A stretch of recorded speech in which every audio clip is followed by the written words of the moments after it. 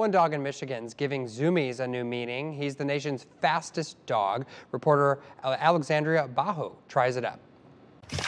Bronco is the definition of doggone because, well, he's a dog.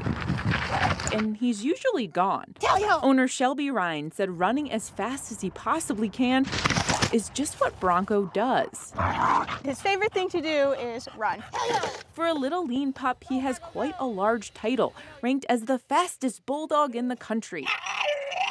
After he zoomed by the competition in the American Kennel Club's Fast Cat event in 2022. His first two runs were already faster than the top bulldog at the time, and the second day he ran even faster and made his PR of 20.37 miles per hour.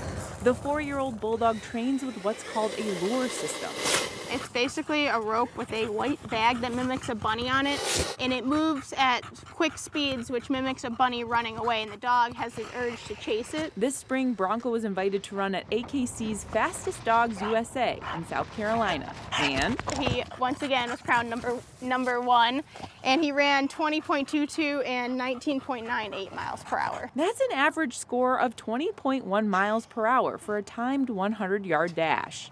And while throwing out his stats might make it hard to understand just how fast he is, I decided the only way to really show you is to put myself in the race. When the competition is fierce, training is the only way to prepare. Okay, enough with the Rocky Balboa training montage.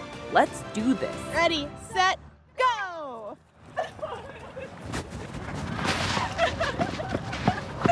So, yeah, I mean, you didn't think I actually had a chance, did you? All fun aside, Shelby says she's glad Bronco is helping to bust myths about the breed. I've got many compliments saying they've never seen such a fit bulldog, such a good looking bulldog, and I take pride in like saying like this is what an AKC male bulldog is supposed to look like, shape, size, personality but everyone assumes that they're fat and lazy and can't walk, and it's a misconception.